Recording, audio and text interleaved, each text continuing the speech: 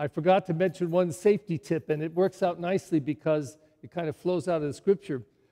One of the other things, uh, we have the air conditioning on, which, thanks be to God, not only makes the church a little cooler, but what it also does, it's not dramatic. Probably can't see it happening. I'm sure we can't. And maybe it, it, it, it doesn't solve it, but helps. It moves the air. And they say the best way would be outside because that's the safest place, distanced and have the air flowing around you. The droplets get moved all over. And so, uh, same is true here. Uh, not dramatically, but in a very simple, quiet, soft way, that movement of the air probably is a healthier thing for us. Now, I mention it because, um, like this ceremony of confirmation, I will say a prayer. We'll all extend hands over you in prayer. And you'll hear the seven gifts of the Spirit, which I'm going to mention in just a second. And then we'll put oil on you, and you're going, I'm going to say, whatever, Felix, receive, be sealed with the gift of the Holy Spirit. And your response is, Amen. Okay, three times is a charm. Felix, be sealed with the gift of the Holy Spirit. Felix, be sealed with the gift of the Holy Spirit. I'll change the name time, this time. Clotilda, be sealed with the gift of the Holy Spirit.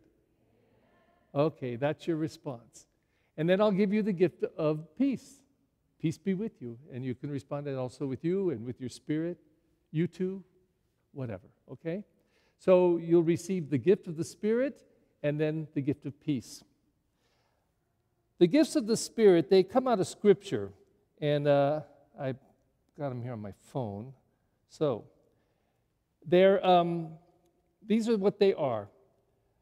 We're praying today that the, the Spirit would gift you with these gifts. And by the way, you already have these gifts. It's not that you don't have them, but through the outpouring and anointing with the Holy Spirit, the prayer of this community of faith, we're believing that something is going to happen deeper, deeper, that you will receive the gift of wisdom, understanding, counsel, fortitude, knowledge, piety, and fear of the Lord. Okay? And you can get these later. Just say, hey, Siri, uh, give me the gifts of the Holy Spirit. Well, she did it earlier. That's right. You don't have to have to do it again, honey. Okay. This day is about you getting gifts. Like I said, it would be absurd to give you seven gifts all wrapped up beautifully, but you never opened them. And wouldn't, wouldn't the, the, the, you become a fool if, let's say, one day you ended up, uh, your house got taken from you or burned down, and you were living in a car and you lost your job and all this stuff, but somehow miraculously you had gathered together these seven little packages, gifts that you never opened. They're 20 years old. So you've been living in the car, you've just been miserable for the last years, and I say to you one day, What are those gifts? Oh, I got them about 20 years ago. Why didn't you open them? Oh, I don't know, I just didn't. That's crazy. Open them now. And you're completely poor. And you open up, in each gift, there's $100,000. And so you have $700,000, and it could have served you beautifully, but you never opened the gifts. Now, although that's unlikely, I'll tell you, every single person in this, in this room today has gifts galore. We just graduated a class from our school, and there's a boy in the class who graduated. He's got a beautiful voice. And he's sang almost every Thursday and one Sunday a month uh, when the school came. And every time I heard him sing, I just said, Oh my God, that kid, he, he has got a possible future with that voice. So I tell him all the time, I say, You've got a voice, use it. Take some lessons, practice, get a teacher because I know something about music and I can tell when a voice is really rich. And this kid at 14, he's had a change of his voice, but he's got a voice. And I relate to it personally because I was blessed. I, I'm a musician. Joe's a musician. He's a better musician. He, I read music, he reads music, but he also knows chords. Those chords he played, he wrote the music. Uh, he knows chords. I don't. He knows how they're structured, how they're written. He knows dominant chords and all this stuff, knowledge I never got because he went and took music and got a degree in it. He's got a developed gift. Mine is partially developed, his is really finely developed. When I was in seventh grade, first of all, when I was in fourth grade, I got in the boy choir at St. Charles, blessed with an incredible director, Paul Salamunovich, who since has died, who had a passion for music and was able to uh, pass it on to me. And just, oh man, I loved singing with that man in the choir. So in seventh grade, I got chosen with some other classmates to uh, sing in an opera, actually, two operas Carmen by Bizet and Tosca by Puccini, my favorite. And uh, we sang it at the Wilshire Ebell and was with full orchestra and all these uh, opera singers and all, all the opera sets and on stage and lighting, and oh, it was glorious. Then in eighth grade, I got to sing it for three nights at uh, um, the Greek Theater with a full orchestra, a whole stage, with Dorothy Kirsten singing. It was just, ah, magic. Plus, in eighth grade, I got to be the star of a, an opera called Amahl and the Night Visitors. It was a simple little uh, production in San Bernardino, but I actually signed autographs, you know, wow. Then I went to the seminary, and every single day, every morning and evening, and during the Mass, I played music on the piano or the organ. And, and I got to develop my gift. Um, what helped also was that people came along and noticed it over the years and encouraged me. I even ended up in a movie. Now, you won't know this star, but I was, I was co starring with Bette Davis in a movie called Dead Ringer. And I was only on the screen for like seven seconds. We were singing around her graveside, and we walked away in procession singing. Got a hundred bucks that day, a hundred bucks.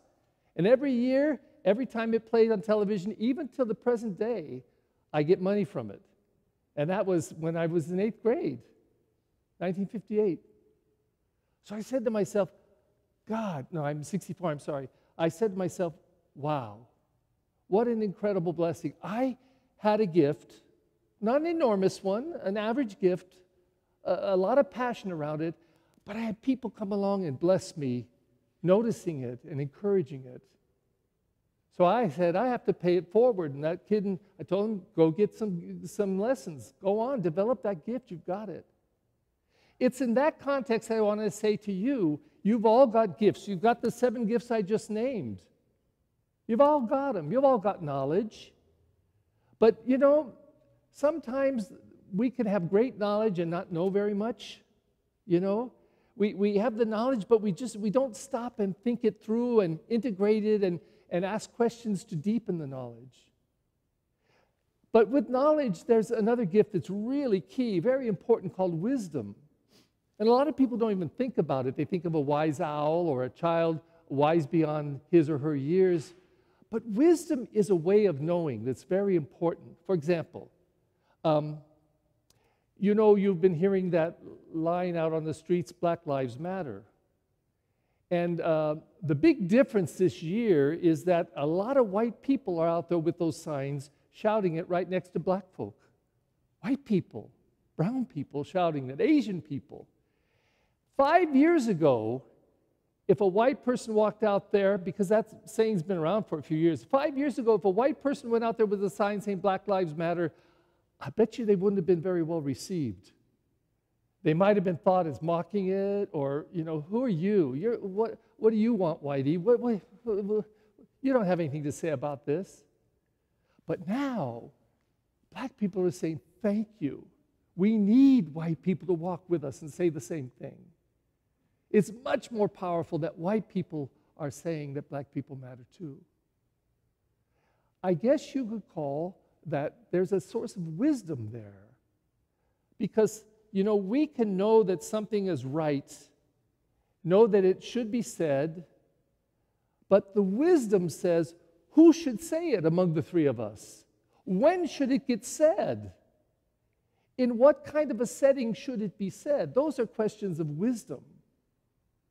So, even if you have a lot of knowledge, you may not have the gift of wisdom to know when the right time or the right place, uh, when it is uh, and the right person that should be saying the thing. So, for example, you're teenagers. Um, you may have some things to say to your parents sometimes. It really would be good to open up the gift that we are blessing you with today in this consecratory prayer the gift of wisdom and ask God, God, I'm going to ask you, fill me with your wisdom. Is this the right day to approach my dad or mom with this? God, fill me with your wisdom. What do I need to ask myself before I open my mouth? The gift of wisdom is really a guide that can make a huge difference about the careful way that we do things. Today, as you receive these gifts, like I said, in 10 minutes it's going to be gone, it's over. And you won't see outwardly the effect because we're praying through an anointing prayer, through oil that gets put on your head. And the oil is a symbol because the oil gets absorbed into your skin. And the symbol is, as we know that, I put oil on your forehead, be sealed with the gift of the Holy Spirit, that you've accepted it. Yes, amen, so be it. I want to be sealed with the gift of the Holy Spirit and the gifts that the Spirit brings. Now it's for you to develop them. Like I had the opportunity, Joe had the opportunity to develop the, the gift of music. To take those gifts, pray them every day, ask for them, especially when you need them, use them and be grateful for them when you use them. These gifts are useless unless you use them.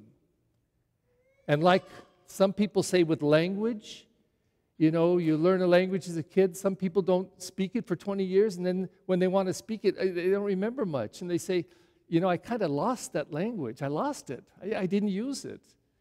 These gifts can be lost because we don't believe in them or use them and ask for them.